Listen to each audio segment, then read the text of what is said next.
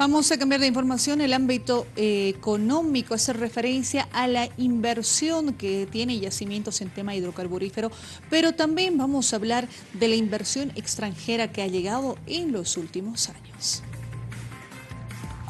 El sector hidrocarburífero del país se encuentra en buen estado de salud, de acuerdo a datos del Ministerio de Hidrocarburos, los que fueron destacados por empresas extranjeras que realizan inversiones en el territorio nacional. Para poner como ejemplo, el día de ayer estaba el presidente Brufau, la máxima autoridad de Repsol, donde él se compromete a hacer fuertes inversiones como, como empresa Ayer se inició la perforación exploratoria de Boicobo, 75 eh, millones de dólares. En los últimos cuatro años, la empresa Yacimientos Petrolíferos Fiscales Bolivianos YPFB realizó una inversión de 1.400 millones de dólares en temas hidrocarburíferos. Por su parte, la empresa Total invirtió 1.300 millones de dólares en Bolivia, Repsol invirtió 1.300 millones de dólares, mientras que se trajo inversiones extranjeras al país por más de 6.000 millones de dólares en los últimos cinco años. Las nominaciones están...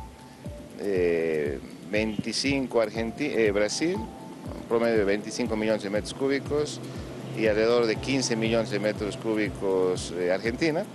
Estamos con volúmenes importantes y seguramente con la firma de contratos con empresas privadas estas nominaciones crezcan.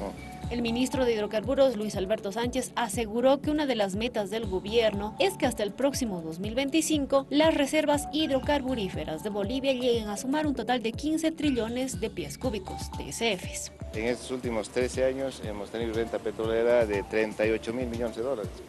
Y antes de la nacionalización, 13 años antes de la nacionalización, 4 mil. Entonces, esa es la, historia.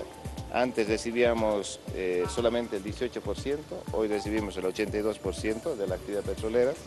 Antes no éramos dueños del gas arriba cuando tiene un valor, éramos dueños abajo cuando no tiene valor.